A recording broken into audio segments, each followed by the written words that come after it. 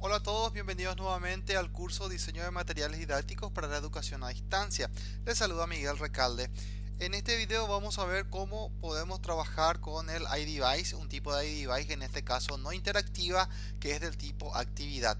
Para ello tenemos que estar siempre ubicados dentro de la página en la cual nosotros queremos añadir ese, ese iDevice de tipo actividad. Entonces, estando dentro de esa página, seleccionamos actividad. En este caso, la actividad que yo voy a agregar va a ser del tipo este índice. Acá. Le cambio simplemente, le digo que va a ser el índice.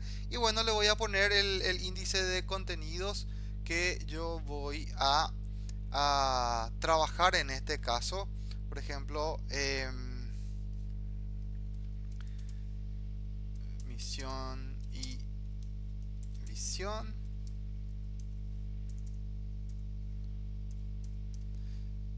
el otro contenido con el que voy a arrancar va a ser la reseña histórica.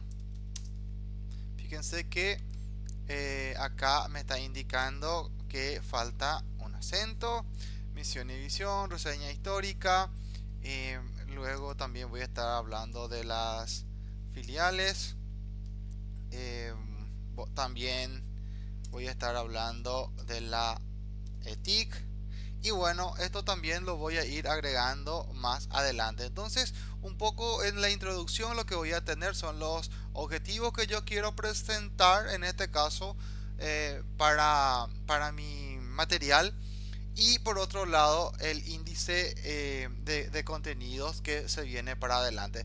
Y luego vamos a ir viendo en otros videos eh, cómo ir trabajando con los otros tipos de iDevice una vez que lo tenga listo simplemente le doy acá en hecho. Y si quiero fíjense cómo se está eh, como estamos viendo ahora.